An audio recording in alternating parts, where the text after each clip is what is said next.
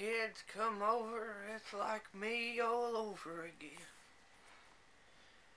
Little Charlie Jr., Jr., the Junior Johnson. He's like seven, eight years old. I don't can't remember. I'm getting Alzheimer's. That little motherfucker is just like me.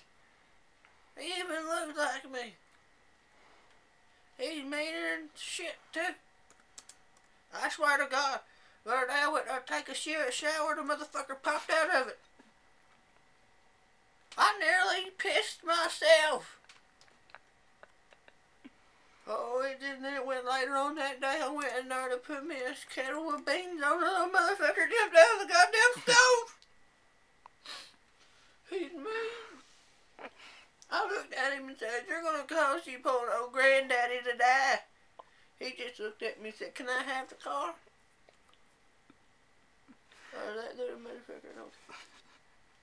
I was laying on the couch and I felt something run by me. The next thing I know, he hit me in the nuts with a baseball bat.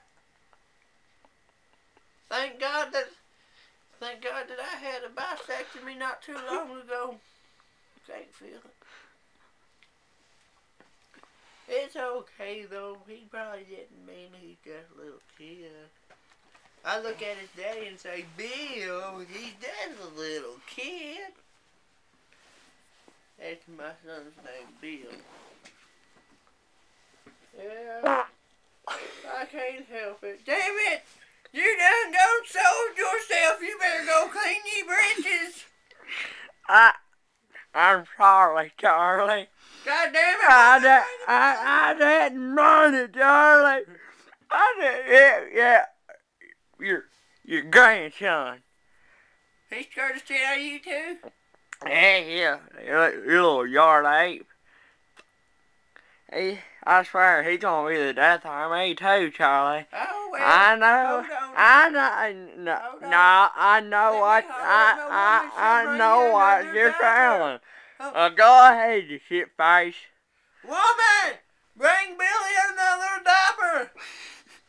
Well, back to my story before a shit for brains over here done gone soiled itself.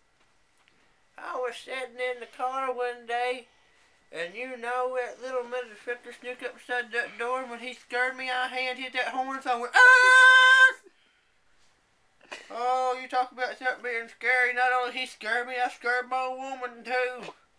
She's like, what happened? What happened? I said, little motherfucker up there, baby, blow the horn.